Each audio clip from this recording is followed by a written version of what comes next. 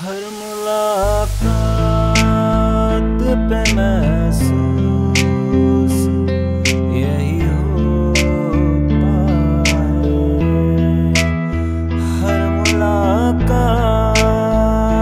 पे महसूस यही होता है मुझसे कुछ देर